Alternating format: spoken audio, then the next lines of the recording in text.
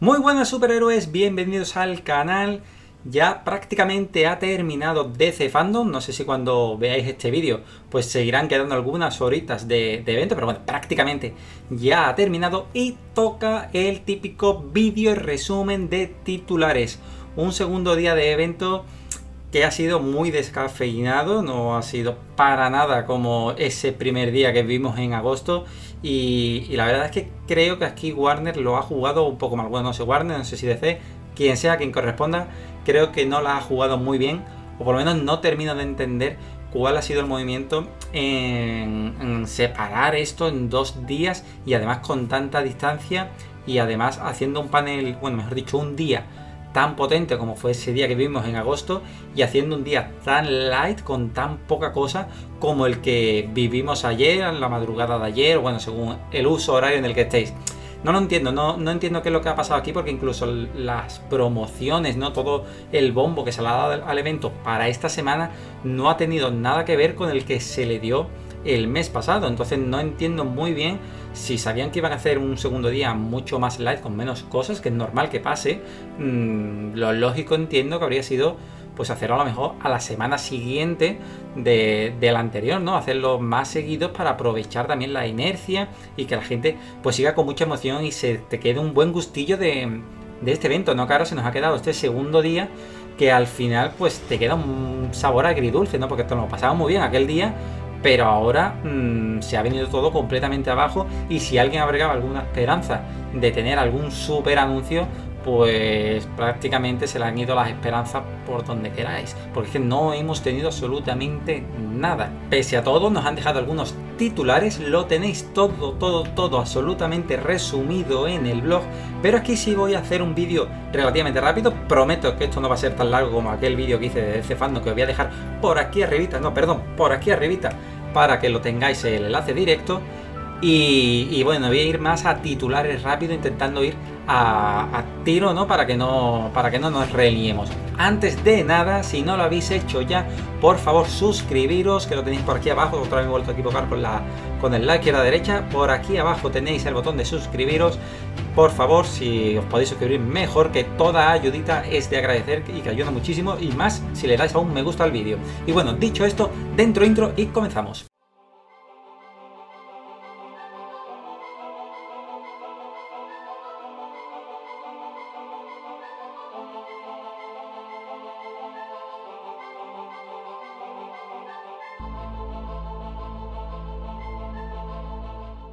Las grandes protagonistas de este segundo día de, este fandom han sido las series. ¿Qué ocurre? Que con el tema de la crisis en la que estamos ahora mismo inmersos, pues prácticamente ninguna está rodándose. De hecho, han empezado los rodajes este mes de septiembre. Entre principios y finales del de mes de septiembre están previstos que vuelvan al rodaje. Y aunque alguna pudo comenzar algo del rodaje antes de que saltase todo este problema, como en el caso de Pennyworth, en general ninguna de las series, sobre todo todas esas de la Roverso, pues no han podido grabar nada de la siguiente temporada. De hecho, recordemos que algunas no pudieron ni terminar su temporada que estaba en curso. ¿Eso que hace? Que no tengamos absolutamente ni un solo tráiler, pero también hace que los actores apenas puedan hablar nada. ¿Por qué? Porque todos estos son paneles pregrabados y yo creo que esto está grabado para lo que iba a ser el primer día de DC Fandom. Es decir, que esto está grabado a principios de agosto, incluso me atrevería a decir que a finales de julio, por lo que muchos actores no han podido ver siquiera un guion de lo que van a hacer en la siguiente temporada, de lo que va a pasar con sus personajes o con sus series en la siguiente temporada. Por tanto, los titulares que han dado pues han venido más de manos de los responsables de las series que de los actores y dentro de que estamos todavía muchos meses de distancia de los estrenos, pues han contado muy poquitas cosas. Además de las series tenemos algunas cositas de cine y es sobre esto con lo que quiero empezar, sobre todo con la película de Flash, la película supuestamente titulada como Flashpoint, y es que, y es que Andy Muschietti, el director de la película, y su hermana Barbara Muschietti, que es productora de la película, han comentado algún que otro detalle de, de la misma. Comentaba el, tema del título porque parecía muy claro que la película se iba a llamar Flashpoint, pero en los paneles de la película, cuando los vemos en DC siempre hablan de ella como The Flash. Y de hecho se ven obligados a poner The Flash y entre paréntesis la película para no confundirla con, con la serie que sabemos que se llama exactamente igual. Por tanto, si ellos mismos no le están dando el título oficial de Flashpoint, yo ya tengo la mosca detrás de la oreja. Pero bueno, ese es otro, es otro tema que eso ya el tiempo pues nos lo dirá. Eh, comenzar con las palabras que ha dado Bárbara Muschetti en las que coloca al personaje de Ezra Miller como la clave de la película. Es lógico, pero bueno, teniendo en cuenta que vamos a tener a tantos personajes, pues hay quien ha llegado a dudar ¿no? si es una película coral o no. El director ya lo dijo en su día y Barbara Muschetti lo ha vuelto a decir. Ha dicho que es clave para la película porque además dice que ejercerá de puente entre todos los personajes y las líneas de tiempo. Al mismo tiempo, la productora ha añadido que la película pues en cierta forma va a reiniciarlo todo sin olvidarse de nada. ¿Eso qué significa? Que vamos a tener un reinicio, vamos a tener un replanteamiento, es decir, vamos a tener la esencia de Flashpoint. Va a haber un cambio en el pasado, va a afectar al presente, los acontecimientos del presente van a ser diferentes, bueno, vamos a tener, hay unos movimientos temporales que van a hacer que la continuidad del cine C cambie, pero no nos vamos a olvidar de lo anterior.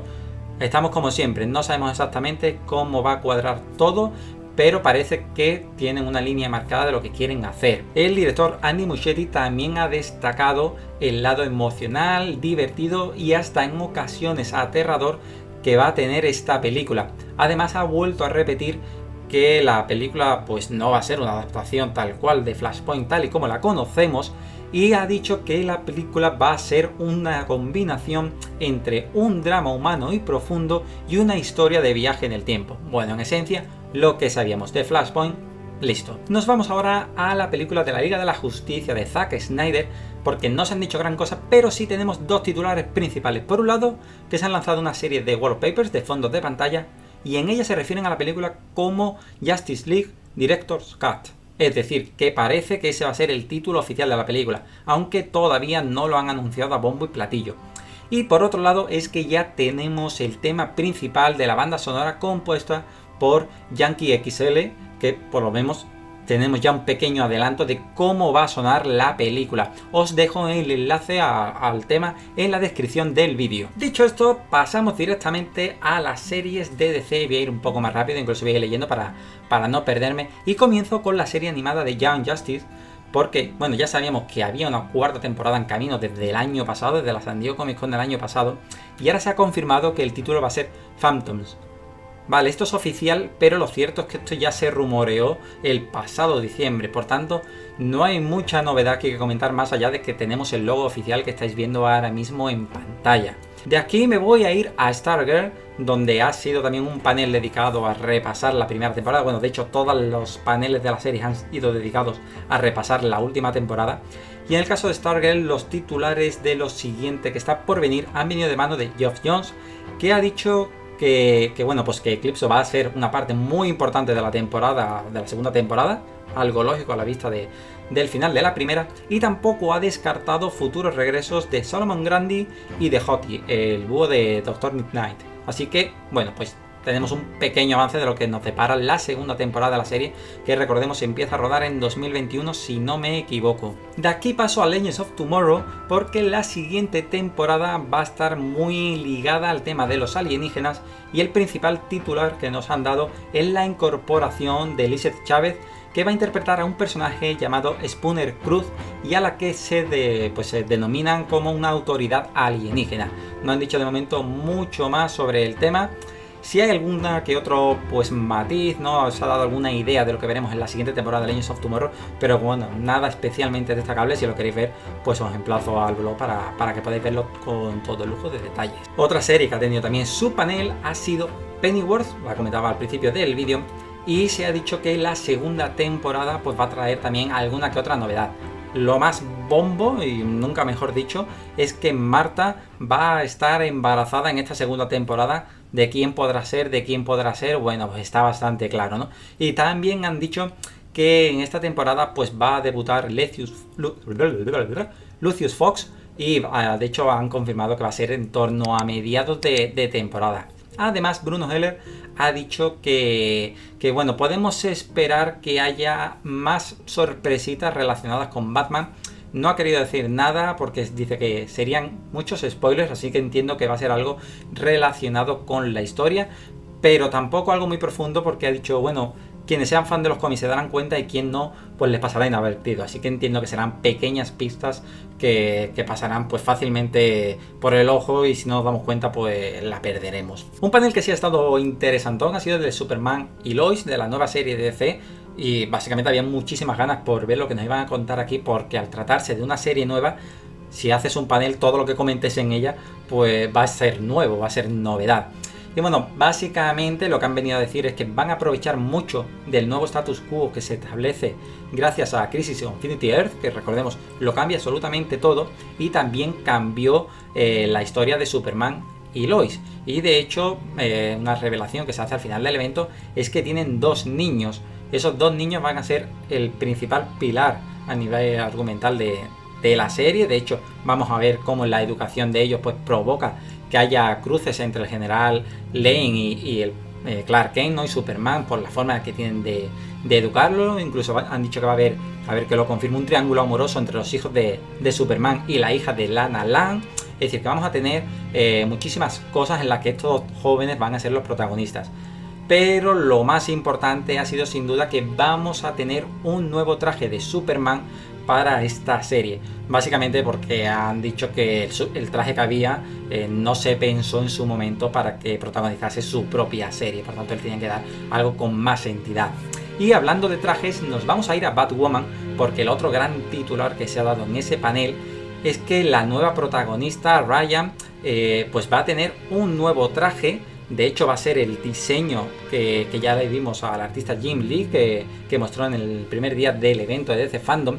Pero también han dicho que el traje va a ir evolucionando. Está claro que vamos a tener una Batwoman que va a ir creciendo, vamos a tener una nueva historia de origen del personaje, no alguien que se tiene que convertir en Batwoman y va a ir dando pasos poco a poco, pero también va a ser una pieza importante de la temporada, ya lo dijeron en el pasado y lo volvieron a repetir, la desaparición de Kate, porque claro, al perder el personaje, pues tienen que contar ahora dónde ha estado y van a jugar con esa idea y vamos a ver cómo cada uno de los personajes pues le da su propia visión, ¿no? Lo ve de una forma, eh, qué ha pasado con ella, dónde está, por qué ha desaparecido y evidentemente cada uno de los personajes se verá afectado por la desaparición de Kate. Y por último, como noticia final, tenemos que Doom Patrol va a tener tercera temporada. Se veía venir, pero bueno, se ha confirmado oficialmente esta tercera temporada que ya, dada la reestructuración que que hay de, pues de los medios de streaming de, Warner,